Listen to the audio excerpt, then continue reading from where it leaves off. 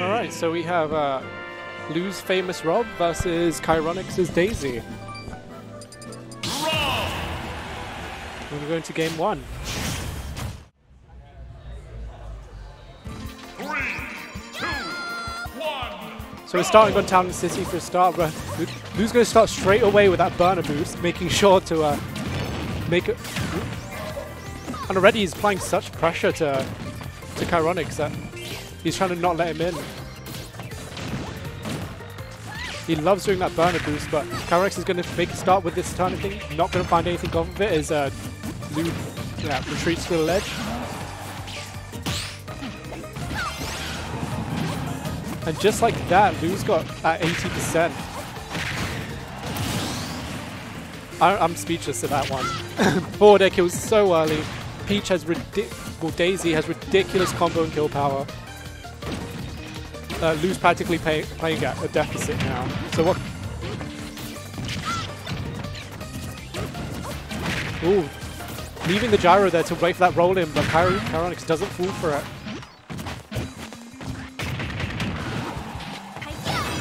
Ooh. Setting up that turnip, trying to cover Lou recovering.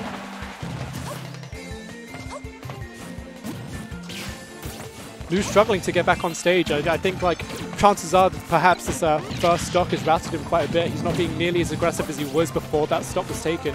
He's probably uh, making sure not to make any mistakes. Ooh, Caironyx air dodges just out the way that up smash. But Lou needs to take this stock quite quickly because if Daisy gets another combo off, he's going to uh, be at quite the deficit. But he gets that, that the Robo Lariat, boys. He gets the Robo Lariat, takes a takes a first stock with a, with an 89% deficit, and now here he is popping off with this combo, 57%.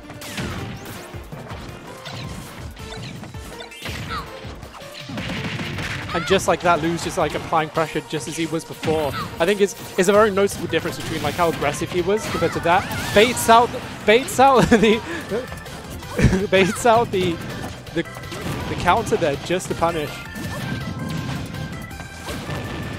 I've ne I don't watch Lou's VOD so as much, but seeing this burner boost consistency is, is actually really impressive to me.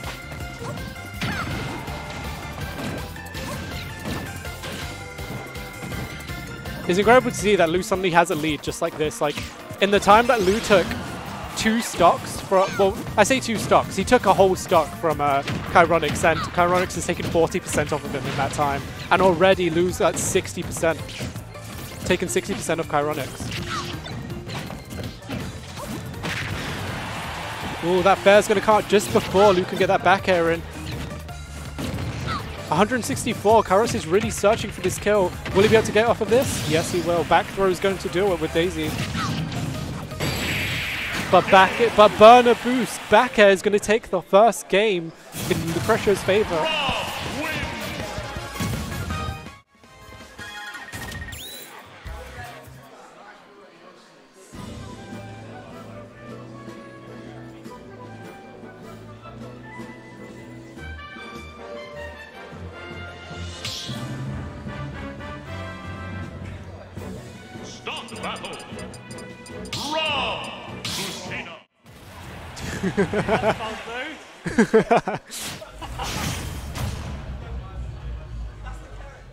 All right.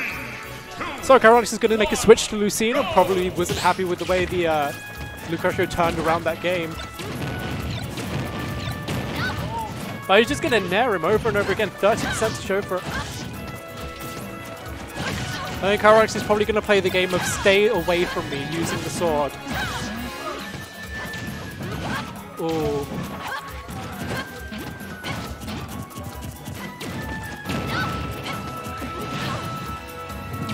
Oh, Lucretio gonna follow him down. Reads the way he Reads the way he comes down for it.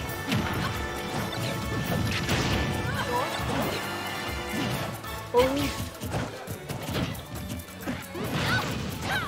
That burner boost back head wasn't exactly where he wanted him to be though. He's still got a solid lead though. Oh, goes that. Ridiculous. He reads that roll in straight away, gets the up smash and secures the kill. Lucretio was only on 68%. Caironyx is quite a way to go. The only way Caironyx is going to take an early, like a uh, relatively early stock right now is with a really good red forward smash, but Lucretio just isn't giving it to him at the moment. Lucretio is just, just being aggressive. He's making...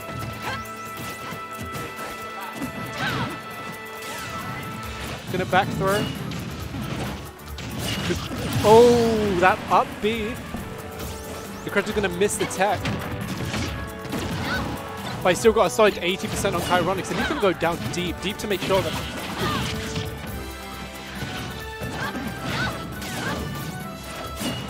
Good coverage there. He uses the laser and the gyro to make sure that we'll try to try to pressure Caironyx into you know, making a choice no matter which one. He has to deal with something.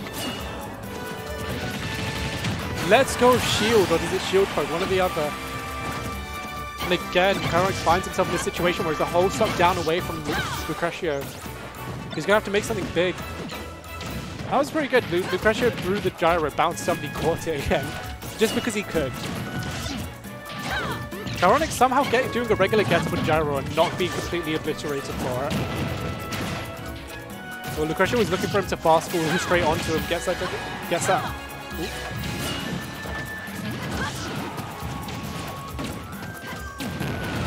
Ooh, coming down with that neutral air, gonna get, gonna get that laser in. Lucretio was to end it. He was looking for the end with that back air there. I love how bold Lucretio is playing right now. I think like he has so much room to play. He's able to just literally just go all in. He's going. He's literally holding. He's practically holding forward and pushing Gaius sometimes. And like that up smash is going to take second game. This time Caironyx was barely able to do anything. The pressure was ridiculous.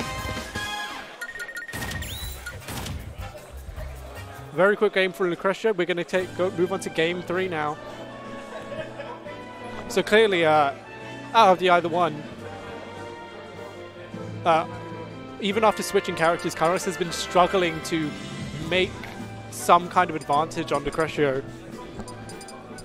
I'm not sure what it'd take for him to be able to turn this around. Lucretio just seems to have him like in the palm of his hand. Will he change characters again, or will he think he... Ooh. No, going to stick with the Lucina.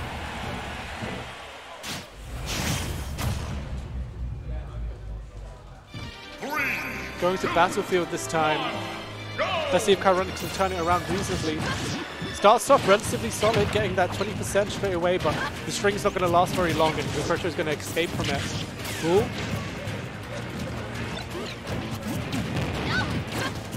Let's go shield slightly too early, and the pressure gets that nice nair on. But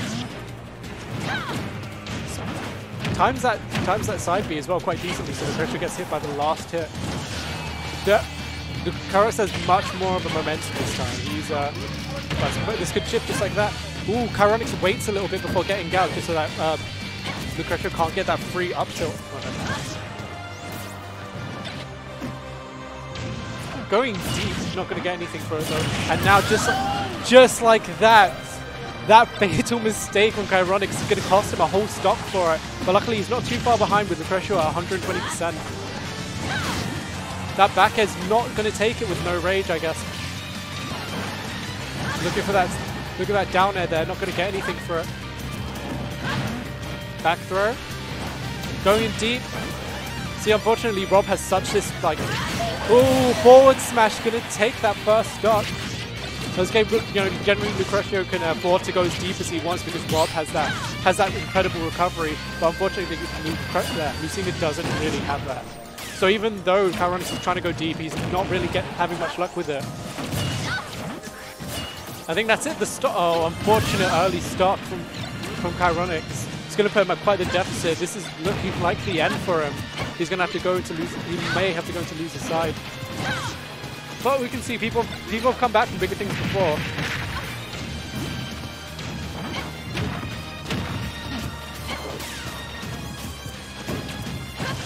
Caironyx is Ooh, go for that.